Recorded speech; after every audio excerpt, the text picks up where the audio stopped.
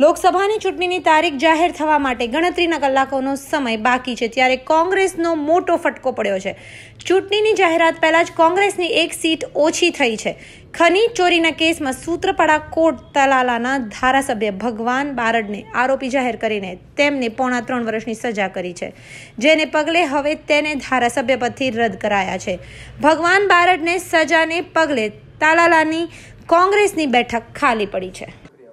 એમને પણ સજા થઈ હતી એમનું સભ્યપદ રદ ન થતું માત્ર ને માત્ર ભગવાન વિભાગ આવું કેમ આ પત્રકાર પરિષદ નથી માનનીય ભગાભાઈ બારડ તલાલા એકાણુંના ચૌદમી વિધાનસભાના ધારાસભ્ય તરીકે ચૂંટાઈ આવેલા સૂત્રાપાડા કોર્ટના જ્યુડિશિયલ મેજિસ્ટ્રેટ ફર્સ્ટ ક્લાસે તેઓને ખનિજ ચોરીના ઇપિકો કલમ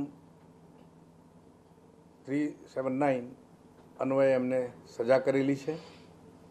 ચોરીના કેસમાં સજા કરેલી છે? બે વર્ષ અને નવ માસની સજા કરેલી છે. નામદાર સુપ્રીમ કોર્ટનો ચુકાદો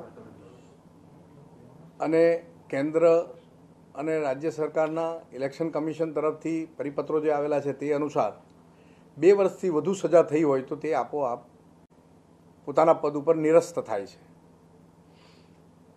આ અંગેના સર્ટિફાઈડ ચુકાદા સાથે કાયદા વિભાગે મારી પાસે આ તમામ હકીકતો મૂકતા